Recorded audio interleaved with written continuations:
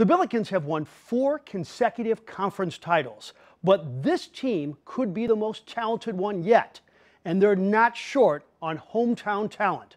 One pair of Bills from Incarnate Word and Rockwood Summit have been dreaming of this moment for years. Corey Miller picks up the story. There's been cause for a lot of celebrations like that this year for the Billikens.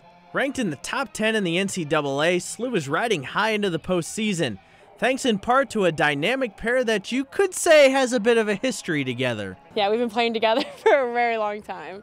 For midfielder Anna Lawler and forward Emily Groark, a very long time is specifically since they were seven years old. Both started college at other programs, but eventually the road led them home. Once she was in the portal, she definitely, obviously, we talked about it, and I hopefully had some sway in her decision and maybe tried to convince her a little bit to join me at SLU. And on the field, these two have the connection you might expect from two childhood friends. Just a natural chemistry between them. When you watch them play, they know, they sense one another, they know what the other one's going to do. I think we just have a lot of trust in each other. Like if I go forward, I know she has my back to cover behind me, and I think that stems a lot from how many years we've played together. I just think we know what each other's going to do and just kind of can bounce off each other, and I think you can see that on the field. From the Scott Gallagher Fields to Hermann Stadium for the top 10 Billikens, the duo of Lawler and Groark is a St. Louis success story and it's one SLU embraces. But they're both playing the best they've played at SLU and do it in front of the fa- you know hometown crowd and their friends and family.